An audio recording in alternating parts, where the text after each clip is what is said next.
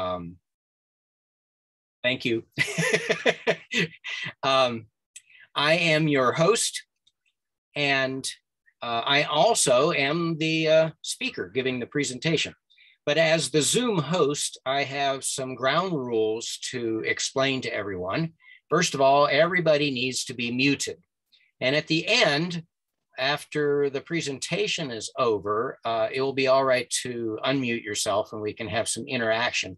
But until then, if you have questions during the presentation, uh, put them in the chat section, type them in. And if you don't know what the chat, chat section is, if you go to the bottom of your screen, you'll see a little talking bubble icon with the word chat under it. And if you click on that, it opens up a, a window on the right and you can type your message there to everyone. And um, Julianne will be watching uh, and making note of the questions. And if it's appropriate, uh, there will be a couple of sections as I switch from one trip to another. If someone has a specific question about a particular trip, then uh, she can relay that to me and, and I can answer it then or answer it at the end if it's just a general question. So uh, everyone must remain muted. Uh, use the chat for questions. I do also want to say next month's um, outdoor photography is the top topic of next month's Trail Talk. And the other thing I want to mention is uh, I sent a reminder to everyone. If you didn't see it, check your spam folder because some I've, I've had a number of people for whatever reason are saying my emails are ending up in their spam folder. And it's important that you got that reminder because it has the link to the San Gorgonio chapter YouTube channel because we are recording this. And when the recording is done, uh, I will go through the process of getting it posted up on the YouTube channel within 24 hours. And uh, so if you have to leave uh, before the talk is over or something comes up, you can always watch it later at your convenience on YouTube. So at uh, this point, I'm going to uh, turn it over to uh, Julianne. And I will, I guess I won't mute myself because I'm going to be talking again later. that makes sense. well, thanks, John, and, and good evening, everyone. Um, I'm really looking forward to John's program tonight. Uh, but let me introduce him properly. Our own John St. Clair has participated in numerous mule pack trips in the Eastern Sierra. And John has been an outings leader with the San Gorgonio chapter since 2011, so a decade, a decade of leadership from John. Uh, he serves as the outings chair for the Los Serranos group and also serves on the Los Serranos executive committee and uh, helps to teach the San Gorgonio chapter leadership training course, which is how uh, I got to know him. And John serves along with uh, Carla Kellums and, and, uh, and me uh, as the as members of the committee for Trail Talk.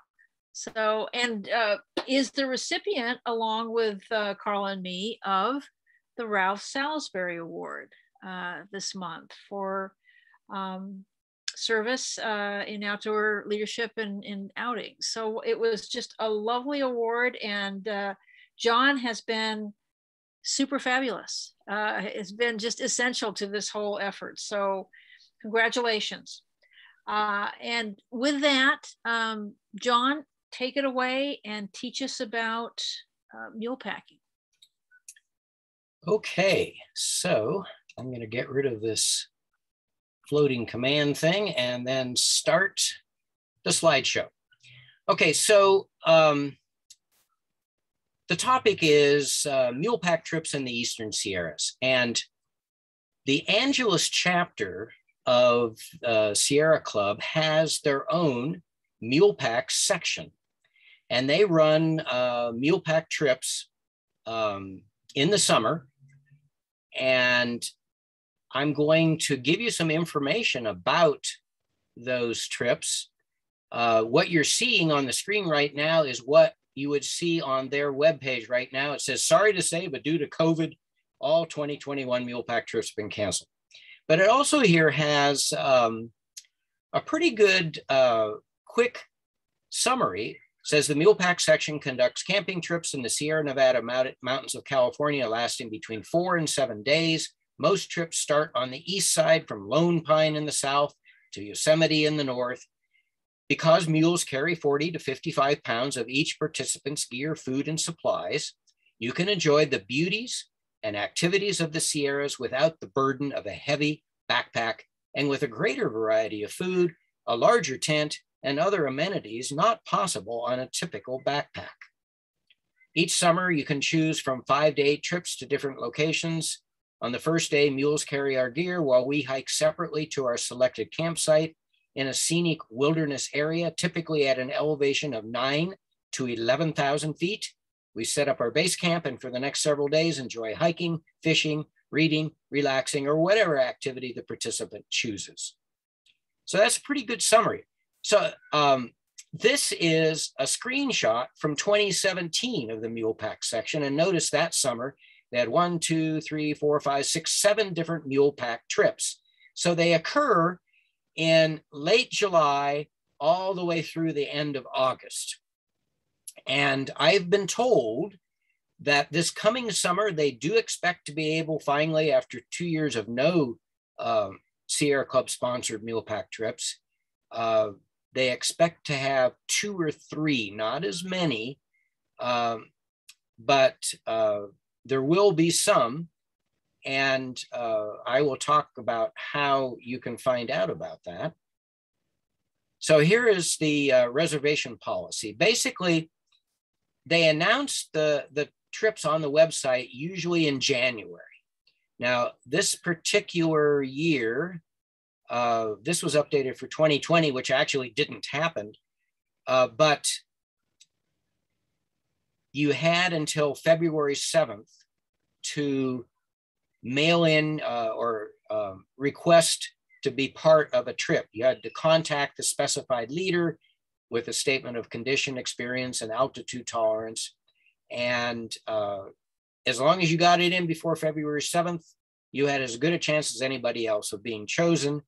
And uh, if you got it in after February 7th, you got put on a wait list. And actually, I know a number of people that have gotten to go uh, even though they, they didn't get uh, chosen initially, but there's always some people that drop out for whatever reason. So they do uh, keep a wait list. And if you get on the wait list, you have a chance of um, getting in on a mule pack trip. So the, that summary mentioned the, the big draw for mule pack trips. You don't have to carry a heavy backpack you get to be in the wilderness out in the and uh, beautiful sierras in the back country without having to carry all your gear. And that's a big plus especially for someone my age who doesn't really want to carry a bunch of weight on my back. And this is a map that shows i, I did a search for california mule packs uh, stations. It doesn't show them all. In fact i'm going to talk about three different mule pack trips tonight and two of the three don't even show on here. so um, basically, if you, you can see off to the right, there's that dotted line, that's the Nevada border. And the big marking line for these mule track pack trips is the 395. The 395 goes north on the east side of the Sierras. And at every single town, or almost every single town, there is a road that goes up into the Sierras, and at the end of that road, there's a mule pack station. So there's there's one in Lone Pine, there's one in Independence. Independence doesn't even show on the map. There's one at Big Pine. They show Big Pine, but they don't show a pack station. Uh, Bishop has two out of it, uh, and and so on. So um, there are a lot of different mule pack stations, and these are the ones that uh, have been used by the um, uh, Angeles chapter, the, the Mule Pack section. Quite a few different uh, locations they've um, gone into to uh, spend a week hiking around. And I've done three of them. I've actually done five Mule Pack trips, but three of those five were at the same place, my favorite. So I've done Clark Lakes, I've done Humphrey Basin, and I've done Big Pine Lakes Palisades Glacier. I'm going to start. Uh, oh, I, am going to lay out the ground rules for how these things work. So basically, what happens is you uh, you get information about your mule pack trip, and you have to supply some food for the community dinner. The lunch and the breakfast is completely on your own. You have to supply your own food for breakfast and lunch, and you supply some food for the dinner. Every night, we had hot soup with freshly chopped vegetables, and um, sometimes with meat, sometimes with not, because uh, vegetarians usually always have something to eat. And when you um, actually get there, you get there early before the mule pack trip starts because you need to acclimate. Now that introduction, I said you uh, the base camp is between nine and eleven thousand feet. The three I've been on, one was at eleven thousand, the other two, well, one was at ten, and the other was ten thousand five hundred. So that's high altitude, and so you have to acclimate yourself. So what people do generally is go up two days early and spend two nights at a motel. Some people uh, stay at a, a, campground because they want to save money. Uh, and a number of the mule pack stations have campgrounds close by. So you can do that. But you spend the first night, you, you drive up, spend the first night, then the next day you go on a warm up hike. Now, the warm up hikes are really nice hikes. This is this picture shows the Saddleback Lake warm up hike for the Clark Lakes Mule Pack trip. This is the high point of the hike. And my friend Rob took this picture of me with Saddleback Lake down below us. We started hiking at just about 10,000 feet and went up to about um, 12,000, be, between 11,500 and 12,000 feet was the high point. And so that was a warm up. And um, then you go back to where you were spending the night, spend a second night. And generally, the motel we stay at is about 8,000 feet. And that helps, spending two nights at 8,000 feet. And then you get up the next morning very early and you take all of your gear to the pack station and dump it on the dock. Now, you see those metal boxes on the right hand side. Those are pannier boxes, and that's for storing the community food and personal food. Uh, in the middle of the pile, you might be able to see a bear canister. Some people choose to put their own personal food in a bear canister, but not everybody has one. And so your food can go in the pannier box with the community food. And uh, that's for safe storage. So after you drop the stuff off, you take off hiking. And um, generally speaking, the the uh, the mules will pass you on the way because it's a long hike. So the three I'm going to talk about, uh, two of them are eight mile hikes, and the other one was a nine mile hike, and you're going up from eight thousand to uh, you know uh, close to between ten and eleven thousand. So the mules pass you up, you get off the trail, and they go by. And generally speaking, they drop the stuff off before you get there. And um, this is the mule pack um, train there at the uh, Big Pines site. And I got there to take this picture. They hadn't unloaded. They got there before me, but they hadn't unloaded. And um, so we waited for them to unload. And then the this shows how much gear they carry. It's it's amazing how much gear they carry. The metal boxes all have food in them, or uh, actually, this is stacked up to go back home because so they drop it off, and they come back five days later to pick it up, and you have to stack it up all nice and neat like this, and um, then you take off hiking back down and uh, you usually we usually get back before the mules get back because it takes a while to pack up all this stuff and they don't get up there until we're already well on our way down to their uh, to the mule pack station. So I want to point out something, a lot of big duffels. Uh, that's how most people carry their stuff. Notice the bear canisters on the right-hand side. Um, you can, and, and I usually bring a bear canister. And um, this is my bear canister.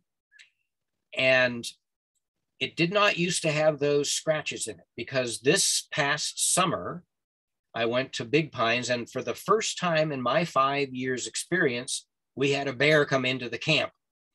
And the bear apparently knew that food was kept in these containers, and it tried to open my bear canister. And, and if any of you who know what a bear canister like is a very, very hard plastic, the fact that the bear was able to claw and scratch those big gouges is quite amazing after he he did that with mine, he went over to one of those big metal boxes and he started flipping it over end over end several times trying to pop it open and was not successful and then people arrived back at camp and scared him off and he never came back again because he wasn't successful and that's why you got to store your food in a safe way because if the bear is successful in getting food they'll continue to come back and you don't want that to happen. So the very first thing you have to do when you get there is you have to set up the kitchen. Now, unfortunately, I don't have any pictures of the kitchen being set up because it's a real big community project. I'm always holding one of the poles and other, you know, so there's five poles. You got to have a person at each pole. You've got to have um, people with uh, pulling out the guidelines with a hammer and hammering in the stakes. And um, it's a big effort to get that done. And, and I've never thought to take a picture. But this shows the kitchen after it is already set up. And you might notice uh, the one person's walking, looks like she's carrying a cutting board with chopped up vegetables on it. Um, every night, a, a big pot of soup with freshly chopped vegetables. And um, then with that is a salad bar. And there's also a happy hour before that with snacks. So people have to bring all that food. And uh, everybody contributes food. Everybody contributes with the work.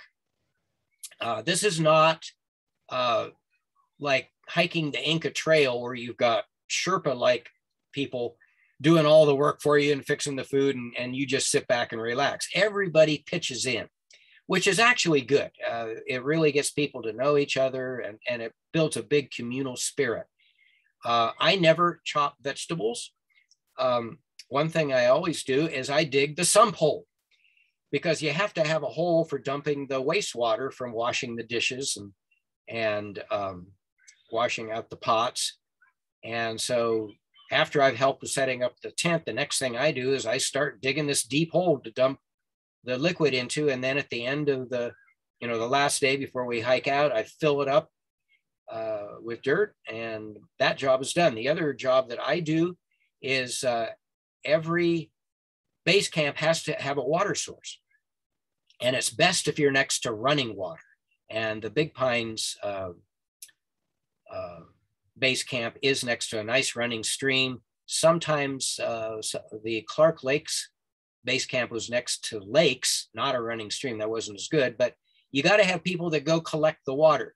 And um, the leader supplies two high grade filters uh, and bags uh, to go with them. And so you pour the water into the bag, the filter's on the bottom, and you um, your water gets filtered so it's safe and um, you got to have people continually going to get water to fill up those bags and to fill up the pot. Now, the soup pot, we don't filter that water. You just bring it to a big long boil to make it safe. Oh, another job I always do, I'm always the first one up in the morning. And so I turn on the fire on the uh, big pot of water. So when other people get up, they can drink coffee and, and make their oatmeal, their hot oatmeal. And again, that's just boiled to make it safe. Okay, so the first trip I'm going to talk about is Humphrey Basin. That was my least favorite Now, there were some, I mean, it really was a great experience. Uh, I never had a bad experience in a mule pack trip, but I think uh, I will comment why it wasn't my favorite.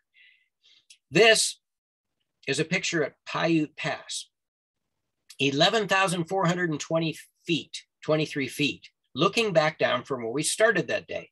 Notice the water and the green, it's very pretty. Now, when I got over the pass and looked at the other side, a little different, isn't it? It's, in fact, uh, when you walk down the Paiute Trail from the pass, off to the right, uh, one of our day hikes was to Desolation Lake. Well, there's a reason it's called Desolation Lake because the landscape is pretty desolate. Now, on the left side of Paiute Trail, there were some some very pretty um, and lush areas, but um, this uh, slide shows the hike to base camp was nine miles of 2,200 feet climb from the trailhead to the pass. Now there is there is beauty to starkness. Uh, when you don't have trees, for one thing, you can see forever. You know, you, you get that long view, which which is really quite beautiful. Uh, this is the Paiute Trail heading towards base camp. I actually don't have any pictures of the base camp because it was there was an ice stream running next to it, but other, you had no views because it was surrounded by trees, which was nice. So the first day hike, uh, and by the way, there's a sign out sheet, and you have to say what you're going to do so the leader knows. One rule is no one does anything by themselves. Has to be at least two people together doing something. So that was a nine mile hike up over 13,000, almost 13,500 feet. That first day, most people did not want to do a big hike, but three of us did. And so me and Bob and Lisa decided to do a hike that has several stream crossings. This was one. And see, this is a beautiful area. So the whole thing, Humphrey Basin isn't completely desolate, but half of it is. I got this great picture of, of a stag and notice the antlers aren't fully formed. They're still kind of soft and velvety. They haven't hardened up yet. And this is Lower Honeymoon Lake. It was beautiful and well worth the effort to hike there. The snow you see up on the uh, side of the mountain in the background, on our map, it said it was a glacier, but it's no longer a glacier. There's not much left of it. But there used to be a, a large glacier there. And unfortunately, uh, you know, we're, we're losing our glaciers because of global warming. So the second day hike was out to Desolation Lake. And actually, this is Lower Desolation Lake in the background. That's me in the very front there. Um, and um, it's nice views in that you can see forever. And, and that is nice, but there's no trees and, and very little vegetation we got a lot of rain that trip. And uh, after one of the rains, just a gorgeous rainbow. The nice thing about the rains in the Sierras, that usually they come in the afternoon. So we got all of our day hikes in before it started raining. One of them, it started raining just as we got back to camp. We barely made it, uh, but we did get all of our hikes in. And this is a beautiful shot I got of a pond with um, the reflection in it. I love taking these kind of pictures. And um, this was on another day hike out of Humphrey Basin. And every mule pack trip I've been on, the leader picks out a site for watching the sunset. And starting, I think it was at Humphrey Basin, this was the second mule trap I ever went on. Um, I started telling stories because I'm a storyteller. And it kind of caught on. And um, we had one of the other participants, uh, Walter Roth, uh, was brave enough to tell a story. And uh, he did that on some later trips as well. And actually has joined my storytelling group since then and has become a very good storyteller. So it's fun to watch the sunset. And um, when it starts to get dark, um, I start telling my stories. Okay, the next mule cap. Oh, maybe are there any chat questions about Humphrey Basin? Yes, we have quite a few questions, John. Okay, why don't I stop here for just a minute and you can relay them to me? Why don't we um, start from the beginning here? What's what's your recommendation regarding packing? What's the best way to pack? Is it la- large, heavy duty, waterproof duffels? Um, do you have to have any interior waterproofing to in case of rain? What do you recommend? So my duffel I got from REI, and uh, it's water resistant. It is not waterproof. Um, if you remember back where you saw the mules before they were unloaded, they put a canvas uh, cover over the top of what the mules are carrying, and that is also water resistant but not waterproof. So um, it's recommended that you put your clothes inside the inside of a plastic bag, like a trash bag, uh, inside of the duffel. So if there's a thorough drenching, your clothes will not get wet. Now, I've never had anything get wet. And one of the trips, uh, in fact, um, it was the Humphrey Basin trip. The, uh, the Mule Pack um, station left late to come pick up the equipment. And so they didn't get back till seven o'clock. And so they they got the afternoon thunder showers and it was a big storm. And even then I didn't have anything wet inside. So it's not a major problem, but uh, it is possible. Uh, and just to be safe, I always put my clothes inside plastic bags. Okay. Next question for you, John. Um, is there a fee for the trip? Yes, there is. And I was going to get to that, but I might as well um, mention it now. It's on um, the slide uh, for the next one. Uh, the fee is mostly dependent on how much the pack station charges. Mm-hmm. So the cheapest one is the one I haven't talked about yet. And it was $320 that I had to pay the leader who pays the pack station pays for the permit and um, that kind of stuff. And then you have the cost.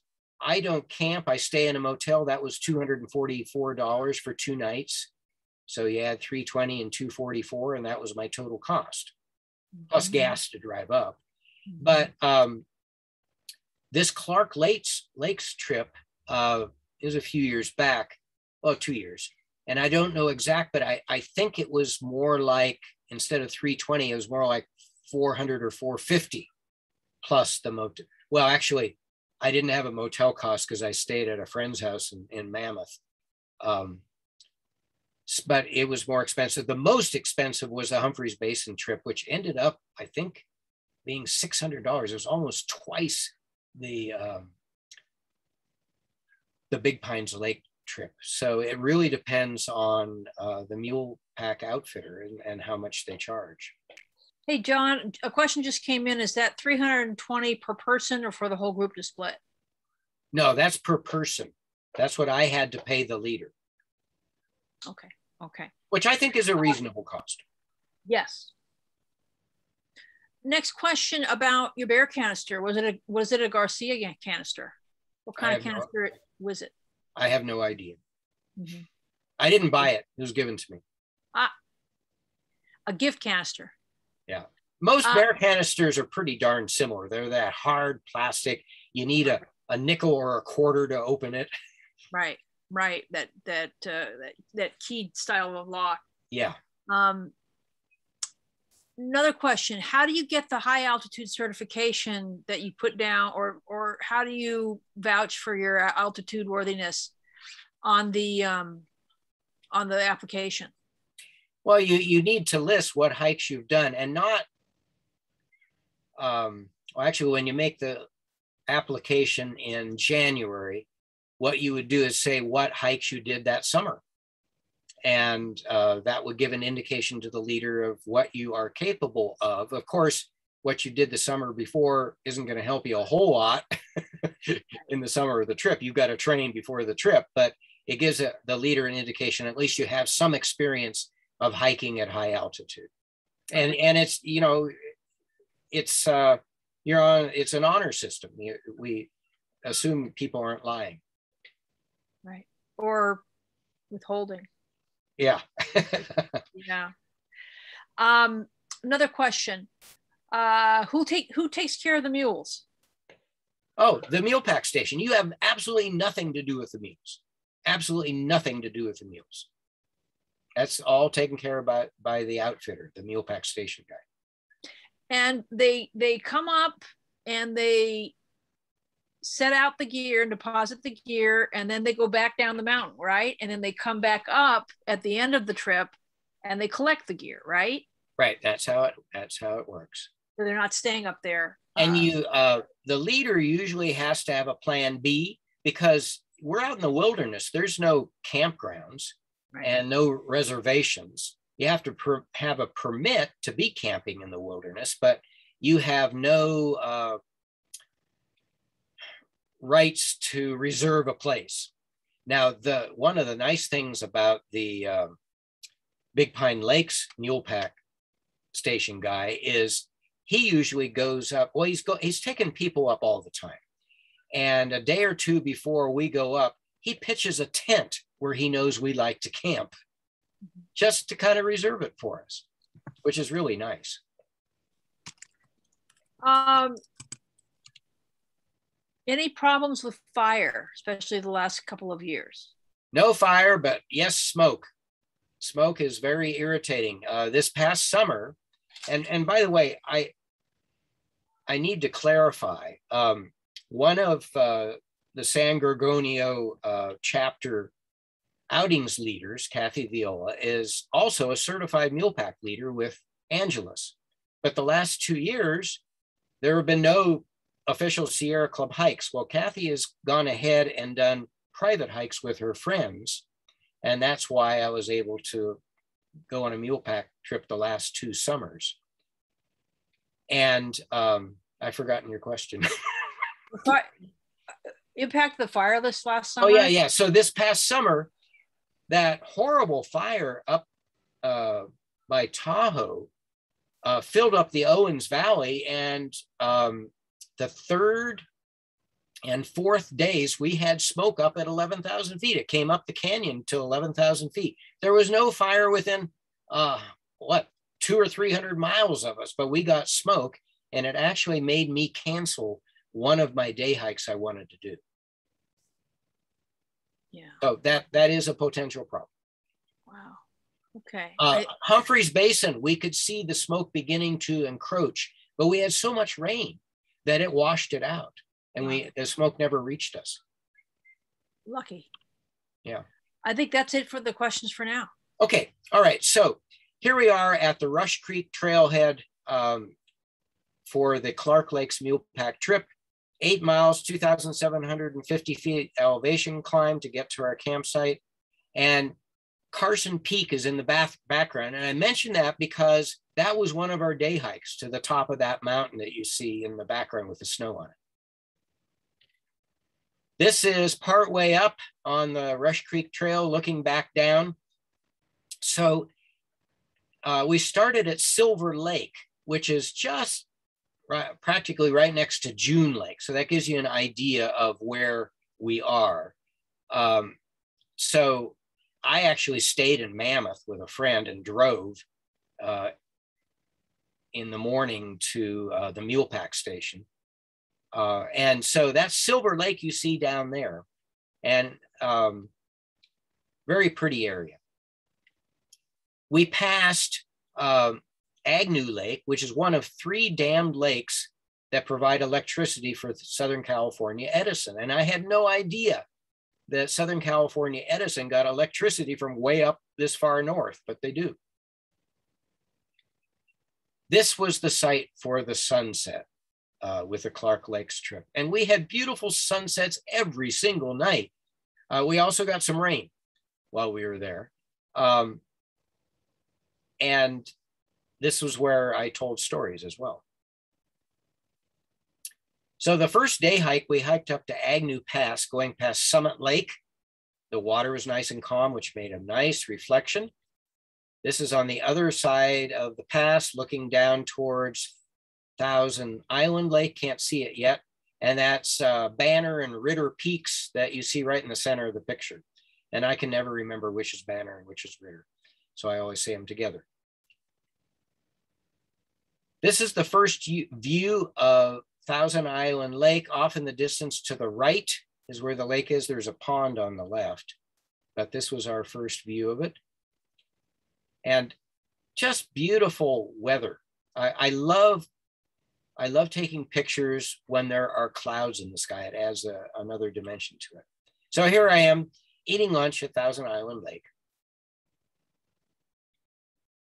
Day two, we hiked to the top of Carson Peak, 10,912 feet elevation. This photo is taken near the beginning of the hike and shows Ritter and Banner Peaks again in the distance. And I just love the way they were framed by the trees and the way the clouds looked. I took so many pictures, choosing which ones to show you guys was difficult. Here I am at the top of Carson Peak with Banner and Ritter again. And now if you look to the right, about a little over halfway up, you'll see Thousand Island Lake and you can see some of the little islands in the lake from here, from this shot.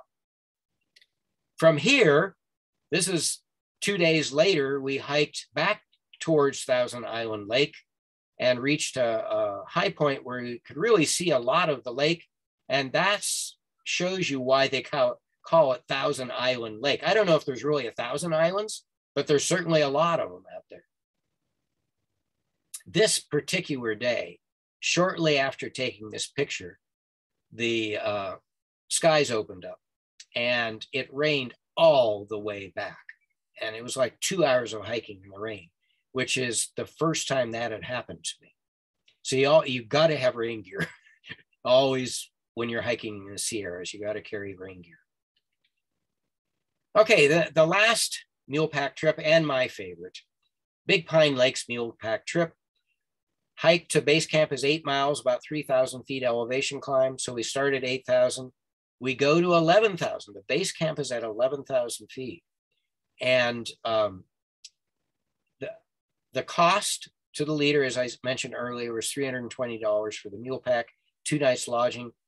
Prior was cost me 244 so that makes what uh, $564 uh, for a week of spectacular entertainment. Now we stayed at the Glacier Lodge, which shows conveniently on this map on the right. And our practice hike was up the south fork of the Big Pine Creek which was the worst of the warm up hikes of all the trips I've been on because there's a big uh, stream crossing that's very difficult. The three years I've been, I made it across the stream once, and the other two times was not able to make it across the stream. So it ended up being a very short hike. The main hike is on the north fork of the Big Pine Creek.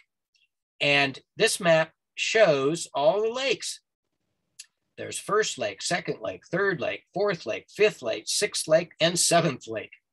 And those are all glacial lakes. And uh, you'll see, especially first, second, and third lake really have that special color.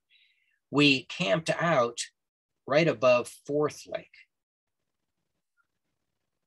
And it doesn't show, well, it shows Mack Meadow, which we hiked to. And from Mack Meadow, there's a trail that hikes up that goes up to the top, well, not to the top, uh, but to the base of um, the uh, glacier. So that was one of our hikes. On the way up to the base camp, we stopped at Lon Chaney's cabin, the famous silent era actor. And Kathy, our leader, is giving us instructions of what to expect on the rest of the hike and what to do when we arrive at the campsite. And notice he chose a very beautiful spot with a stream going by. People were sitting on the steps of the cabin. You can't see the cabin in this picture. The stream is actually prettier than the cabin. And then we went through a really lush area with lots of flowers. I took this one. And this is First Lake. Notice it has kind of a turquoise color. This is Second Lake. This is Third Lake. So we hike past all these lakes. This is Fourth Lake. And we get up above. And this is the reason I like this trip the best. This is our base camp. We are looking at the Palisade Glacier. And it's just a breathtaking view. The photo does not do it justice. And since I'm the first one up in the morning, oops. Oh, so that night, um, after we set up camp and had dinner, in fact, every night we go to watch the sunset. And just a little ways from where our base camp is, there's a rock ledge right above Fourth Lake. And notice the alpine glow up on the, the peaks and the reflection of that in the water is just beautiful. Now, the next morning, the sun is not up yet. Can you see the moon in the sky? it's just that pre dawn era, uh, the time when it begins to get light, but not necessarily direct sunlight. And to watch the colors change as the sun comes up is just spectacular. So we've got this looking very red now, right? Now the sun's starting to shine. Notice it's not quite so right. That big uh, rock on the right side was the first one I showed you. It was all that dark red, almost maroon. Now it's beginning to fade a little as it gets more light. It actually, in direct sunlight, is gray and I went down to the the spot where we uh, go at sunset to look at at uh, Fourth Lake, and now that red pile of rock there, that red mountain, has the sun directly on it, and it's like gold in color. But if you look in the reflection of the lake, it has that red color. It's just amazing the different colors you see as the sun comes up. It's just spectacular. Now this is later on in the morning when the sun is fully up and notice it's, it's gray. it's, it's not red, it's not golden, it's gray. And the reflection is, is gorgeous. So our first day, we hike up to Sixth Lake and Seventh Lake. The second day, or sometimes the third day, we hike to uh, Sam Mack Meadow. And from there, we hike up to Palisade Glacier. Now, this is on the way up to Palisade Glacier. It starts out with a nice trail. This is looking back down at Sam Mack Meadow. And the stream there is fed by Sam Mack Lake, which you can't see because it's behind that ridge up there. You see the snow going up. Um, there actually is a waterfall up there. Doesn't show here. It was a dry year this year. So I think we're still on the trail here. Notice the, the flowers uh, at the base of the rock. We've got shooting stars. We've got columbine and mountain asters, beautiful flowers. Now there's not much trail left and we begin to do uh, scrambling. The one year um, we really had a lot of snow. This, this wasn't this past summer. This was a couple of, this was either 2017 or 2019. I've been on this hike three times. And then the rest is just boulder scrambling. So not everybody goes on this hike. It's not for everyone. It's a tough hike, a really tough hike. The first year I went, we left at 7:30 and got back at 7. So it was a long, long day. I should say I got back at 7. I was the sweep.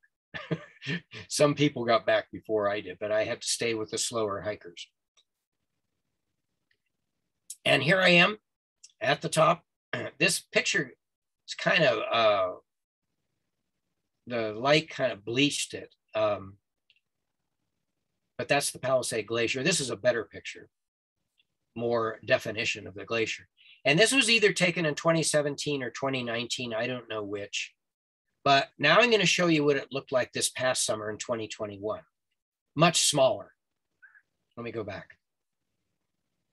Notice how wide it is. And notice at the bottom of the glacier, there's the water, but it's covered with ice. Here, it's all melted. It was not a good snow year for the Sierras, and the glacier is shrinking anyway. But when we have years like this past summer, it really shrinks a lot. Still worth a hike up there to see it though. On the way back down, uh, I hadn't noticed these flowers on the way up, but I noticed them. They're very small. So I got down on my hands and knees and I took this picture up close. And it's Cassiope. I looked it up on the internet. No, Cassiope, I'm sorry, Cassiope. And I have a quote here from John Muir. Here too, I met Cassiope, growing in fringes among the battered rocks. No evangel among all the mountain plants speaks nature's love more plainly than Cassiope. And the common name is white heather. It's just gorgeous. On the way back down, there's a great lookout of the first three lakes first lake, second lake, third lake um, that we hiked by on our way up. Uh, so the one furthest away is First Lake. And if you look to the left, about three quarters of the way on the edge of the screen, you can see a dark flat spot. That's Fourth Lake. I zoomed in from here. You can see it a little bit better. It's kind of obscured by uh, trees, but you can see the rocks there that we sit on at night right above it. The bare rock place uh, where there's no trees, that's where we go at sunset to sit.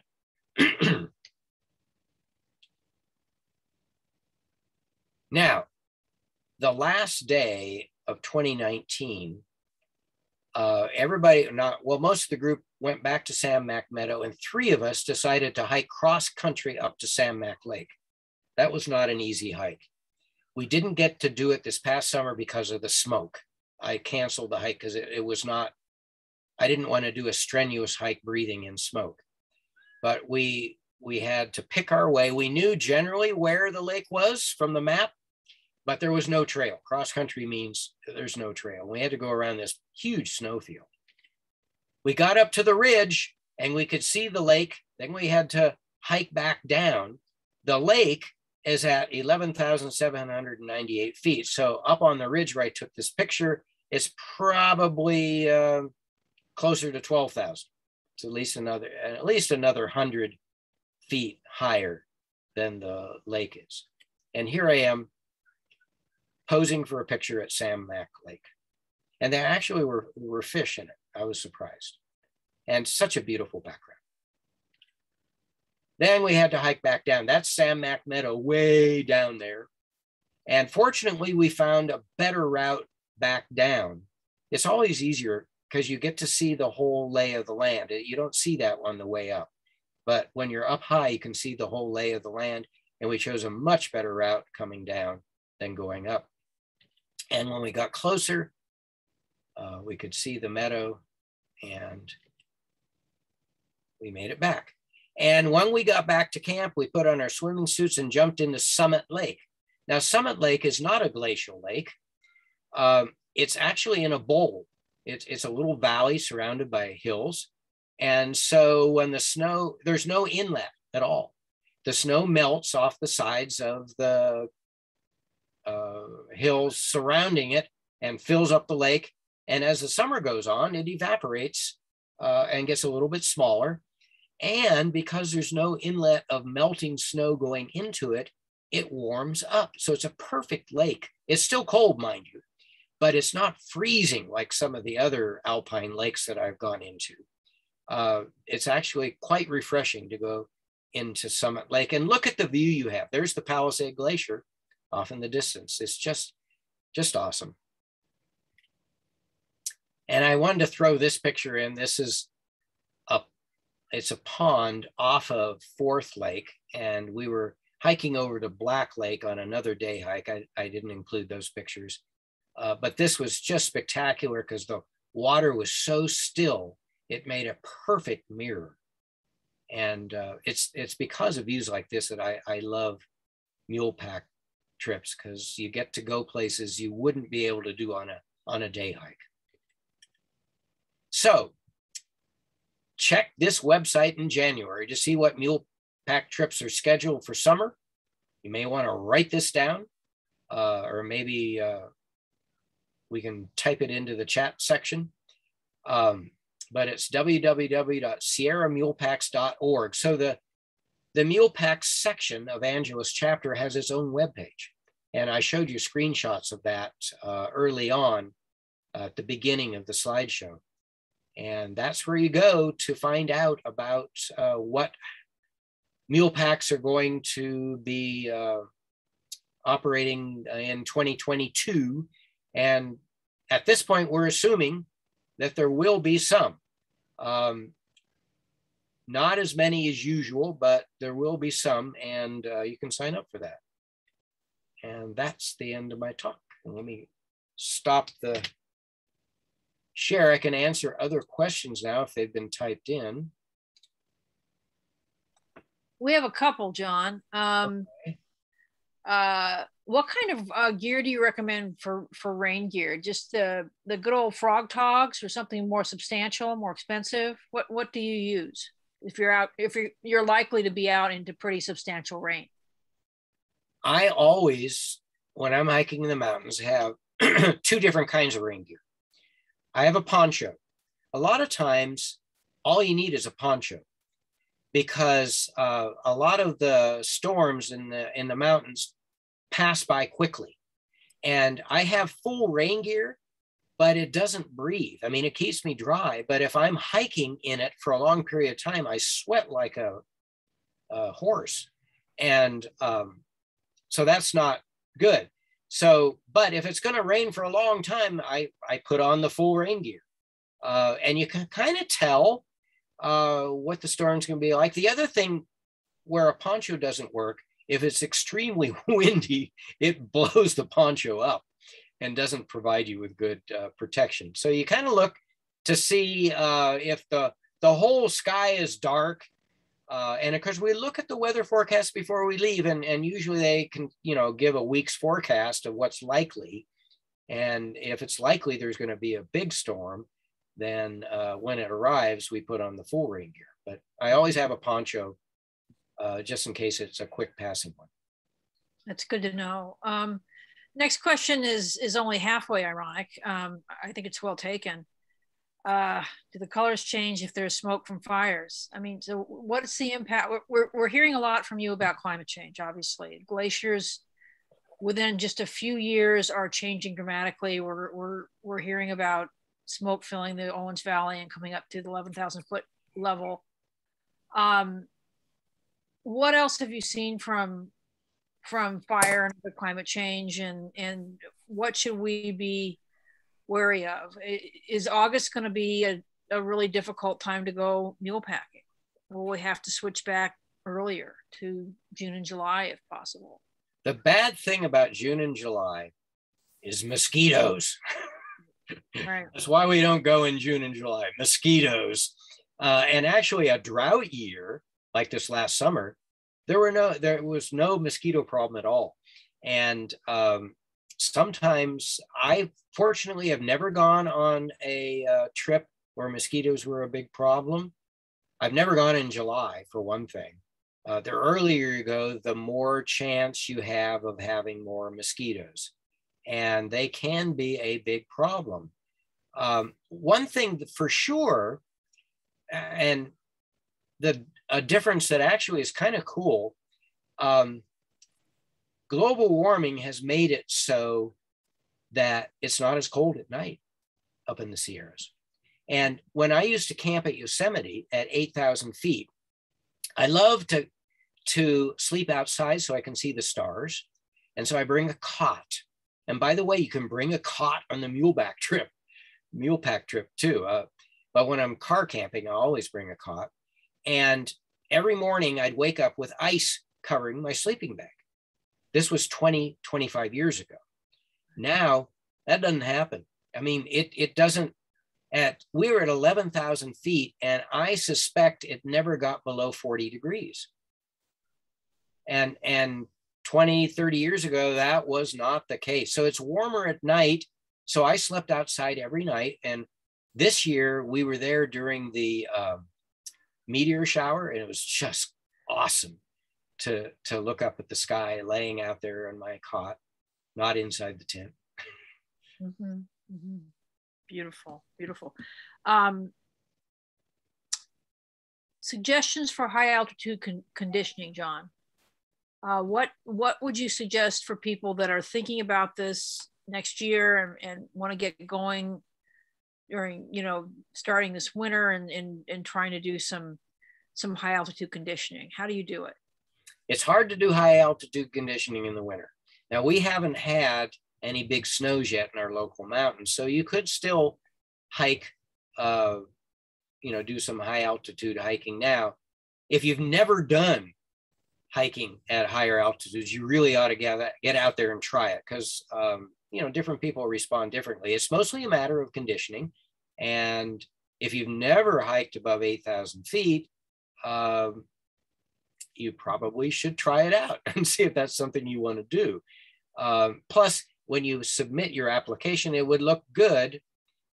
Um, so if if we still don't have any snow this fall, you could start hiking up to higher elevation hikes. There's lots of trails in the San Gabriel and San Bernardino mountains that'll take you up to a high elevation. And that would be good to put down on your application that you've done like Dry Lake in the San Bernardino mountains or um, Thunder Mountain in the San Gabriels, or, you know, uh, you could list what, what uh, places you have hiked. And then of course, in the spring, you've got to start out slow, at least if you're old like me, you do. Uh, and every year it gets harder and harder and it takes longer and longer, but I can still do it. It's just a matter of conditioning. And I slowly increase the altitude of my hikes until I'm in good shape by August. Follow up on that, John. Um, any thoughts for mule trips for folks with lesser experience or fitness? Um, nine miles at 10 to 12,000 feet may be a challenge for some. So what are your suggestions for uh, for other mule mule pack trips? Well, um, I don't know. I mean, you could schedule something, uh, you know, on your own. You can contact the mule pack stations and and and um, for instance, uh, the Big Pines area, uh, a lot of people hike up to. These are backpackers, of course but they hike up just to First Lake or Second Lake. And, and the mule packs, I know they've delivered people uh, to Third and Fifth Lake. I don't know whether how low they go. Uh, it's it's a problem for availability because the backpackers don't usually make it up to where we go because it's a it is an eight mile hike and three thousand feet. And if you got a big backpack on, that's a heck of a way to go to get you know, mm-hmm. to get to your camping spot. And so I think that's why we chose to uh, go that high. But um, uh, I, I, I don't, you know, I have never arranged a mule pack trip, so I'm not privy on to exactly uh, how that goes, but you could contact, you know, I did that search for different uh, California mule pack stations and got all those sites listed.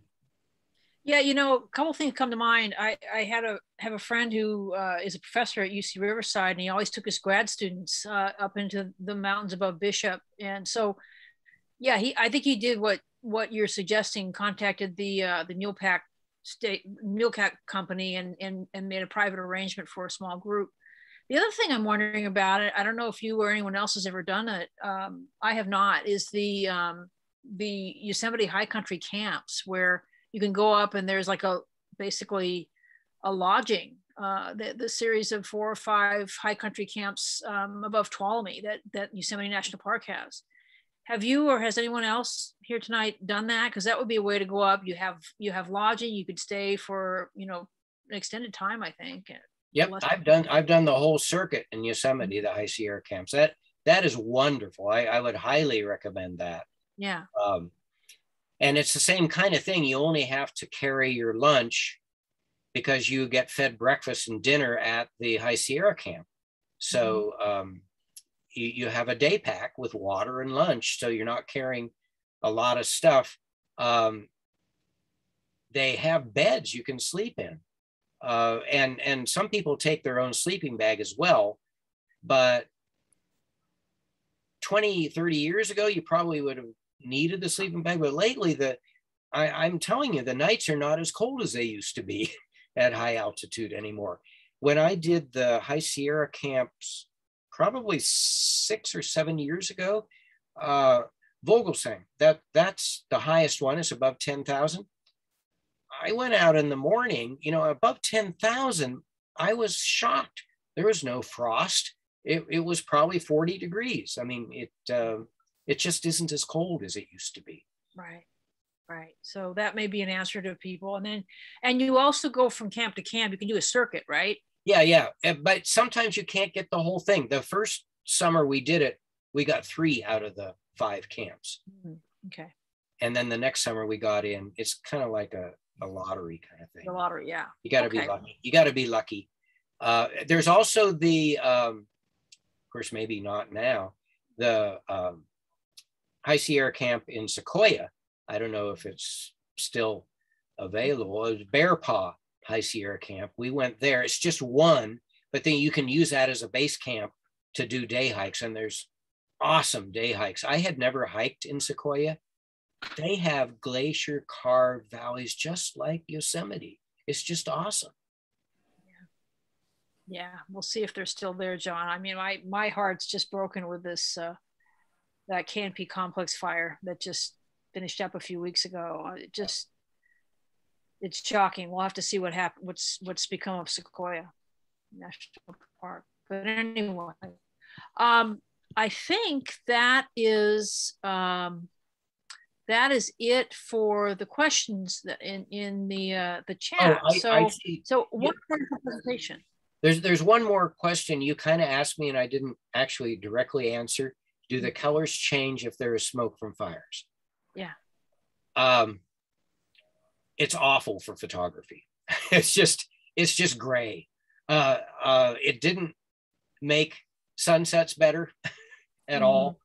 Mm-hmm. Um, we took some pictures, uh, sunset pictures uh, above Fourth Lake with the smoke hanging, and it just it was not nearly as good looking. It it did not improve the colors at all. It just sort of put a gray tinge to everything. It was it was not fun.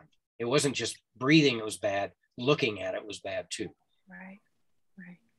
John, uh, another question. I, I think I inadvertently blooped over, so my apologies. Um, will we get a notice um, when the mule pack trips become available for 2022 is there going to be an email or anything once the trips nope. are open nope, to nope. applicants definitely not you've got to uh, hopefully you wrote down that website for the mule pack section check it in january that's right. always when they post it. Yeah. Is uh, beginning of january and the deadlines in february so you, you got the whole month of January to submit your application, see what they have available. And like I said, it's not going to be a full offering of like eight trips. It's probably going to be two or three this next summer as we transition back to normal. Right. Right. Right. Well, John, what a what a beautiful presentation. Just lovely. Um, thank you for your commentary and your tips and the the travelogue. It was just really stunning country, just stunning. So uh, makes me want to go for certain. Sold. Well, I'm sold. I, have done five years in a row. And, yeah. Uh, as long as I can handle the hiking and get in shape, I'm going to continue right. doing it. Right, right. I, I'm I'm seeing lots of thank yous in the in the chat. So, so you're a hit. Uh, but again, uh, everyone, thank you for attending and uh, for, for listening to this fine presentation by our own John St. Clair. Yay, John. Thank you, John. Hi, Rob. Thank you, John. You're welcome. Thank always, you. Always fun to share. All right. Well, John, well done. So I didn't notice how many did we have at the peak?